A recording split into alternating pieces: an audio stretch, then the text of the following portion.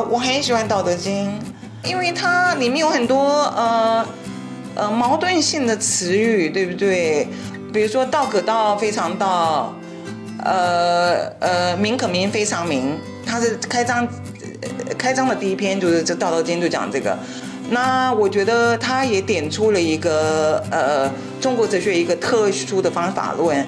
那呃这个的话，我觉得他呃呃告诉了我，就是说呃有时候在教学方面，还是我自己有小孩，呃在给小孩的那个带领方面啊，就是不是把所有事情讲得太清楚了。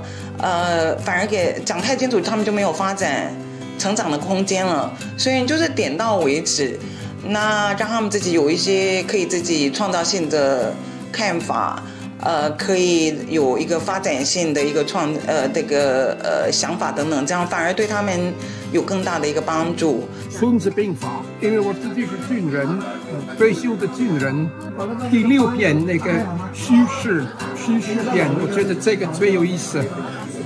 里面都是军队跟水一样，从上到下，如果碰到呃，怎么讲有一个困难就会经过。我觉得这个很了不起，当时的时候这个军事的理论。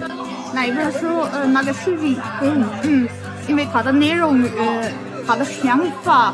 呃，很不容易，但是很丰富，完全漂亮。啊，那个国分部分，我特别感兴趣。